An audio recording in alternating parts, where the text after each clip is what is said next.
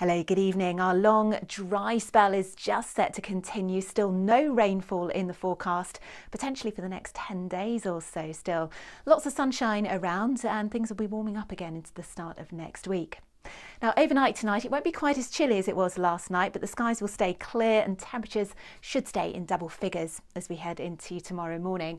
And this is how we'll start off the day tomorrow. A bit more fair weather cloud around tomorrow, but the temperatures will be higher through the afternoon 26 or 27 degrees Celsius. That cloud melting away again towards the end of the day, and the winds will stay light. Now, as we head through into next week, Monday and Tuesday, we'll see those temperatures peak in the high 20s and Celsius. We'll start to see some warmer nights as well, just over 30 degrees Celsius possible on Wednesday and Thursday.